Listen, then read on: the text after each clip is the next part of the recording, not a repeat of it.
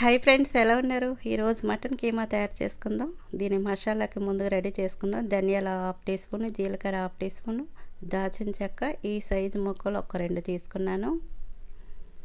రెండు యాలకులు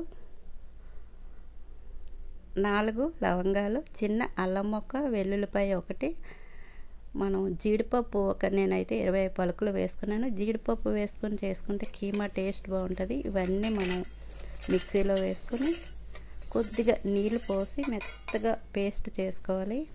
ఎక్కడ పలుకులు లేకుండా బాగా మెత్తగా ఉండేలాగా పేస్ట్ చేసుకోవాలి. చూడండి ఈ విధంగా మనం మసాలా పేస్ట్ రెడీ చేసుకున్నాం కదా దీన్ని పక్కన పెట్టుకుందాం. ఈరోజు మనకి మా కుక్కర్ గిన్నెలో పెట్టు తయారు చేసుకుంటున్నాం.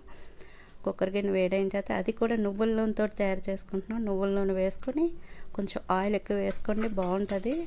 జీలకర్ర బిర్యానీ ఆకు అలాగే కరివేపాకు వేసుకొని ఒక్క నిమిషం బాగా వేపుకోవాలి. కరివేపాకు ఉంటే మాత్రం మానకండి వేసుకోండి. కరివేపాకు వేసుకోవడం వల్ల కీమా టేస్ట్ బాగుంటుంది.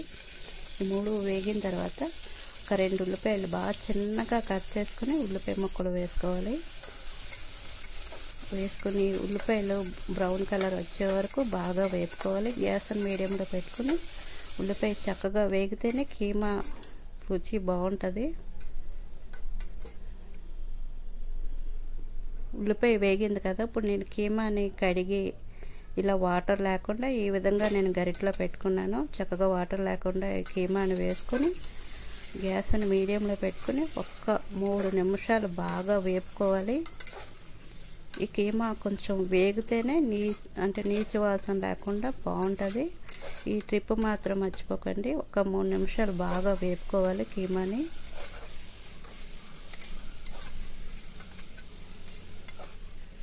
కొంచెం ఆయిల్ ఇలా పైకి తేలే వరకు వేపుకోవాలి. చూడండి చక్కగా వేగింది.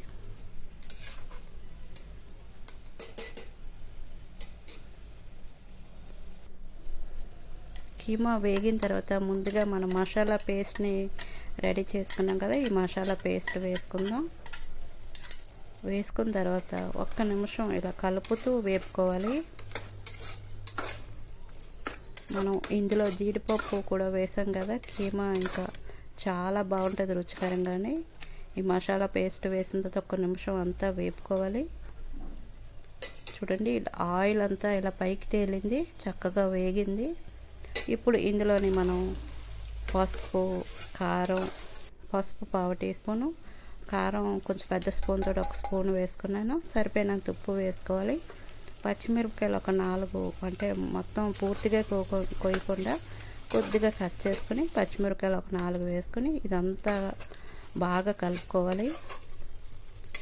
ఈ కీమాకి ఉప్పు కారం అన్నీ పట్టేలాగా బాగా కలుపుకోవాలి. కలుపుకున్న తర్వాత అంటే నేను పావు కేజీ కీమా తీసుకున్నాను కాబట్టి ఈ సైజు చిన్న గ్లాస్ తోటి ఒక గ్లాస్ నీళ్ళు వేసుకున్నాను. మీరు కొంచెం ఎక్కువ ఎక్కువ తీసుకుంటే కొంచెం వాటర్ ఎక్కువ వేసుకోండి. ఈ గ్లాసు నీళ్ళు మిక్సీ జార్లో వేసుకొని ఈ వాటర్ని మనం వేసుకోవాలి. వేసుకొని ఒకసారి అంతా కలుపుకుందాం.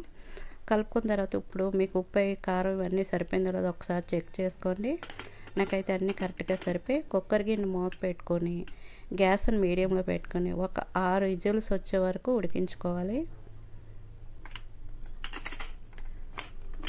చక్కగా మనకి కీమా ఉడికిపోయింది.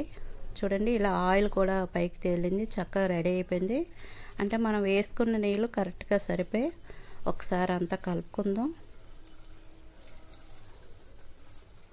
ఇలా ఒకసారి అంతా కలుపుకున్న తర్వాత మీ దగ్గర కొత్తిమీర ఉంటే వేసుకోండి.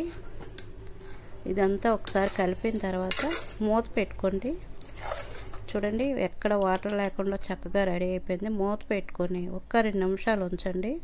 ఉంచిన తర్వాత మనం రైస్లో కానీ అలాగే బిర్యానీ కానీ వేసుకొని తింటే చాలా బాగుంటుంది. తప్పకుండా నేను చెప్పిన విధంగా ట్రై చేయండి. మటన్ కీమా చాలా సింపుల్గా కుక్కర్ గిన్నెలోని మనకి ఎక్కువ టైం కూడా పట్టదు. పది నిమిషాల్లో రెడీ చేసుకోవచ్చు. చాలా రుచికరంగా ఉంటుంది.